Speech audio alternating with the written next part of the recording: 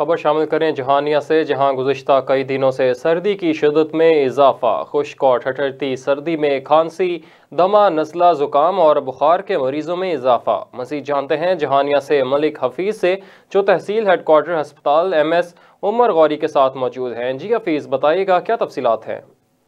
जी बिल्कुल, मुल्क भर में गुजशत कई दिनों से खुश्क सर्दी का राज है और सर्दी की शिद्दत के इजाफे के साथ ही जो दमे, खांसी, एलर्जी के मरीज़ हैं, उनमें इजाफा हो रहा है। मैं इस वक्त मौजूद तहसील हेड क्वार्टर हॉस्पिटल में जहाँ पर जो मरीज़ हैं, उनमें इजाफा हो रहा है, जो दमे, खांसी नज़ले के हैं तो इसी हवाले से M S doctor Umar Gauri साहब मौजूद हैं, उनसे जानेंगे कि इस मौसम में सर्दी की शिद्दत में इजाफा है तो क्या एहतियाती तदबीर इख्तियार करनी जी, इस जैसे आजकल का मौसम बहुत शदीद हुआ हुआ है, धुंध का भी राज है। इसके अंदर आप कोशिश करें कि बच्चों को तो घर से ना निकालें और अगर काम से बाहर निकलना पड़ता है तो अपने सर को ढांपें, अपने गर्म कपड़ों का इस्तेमाल करें।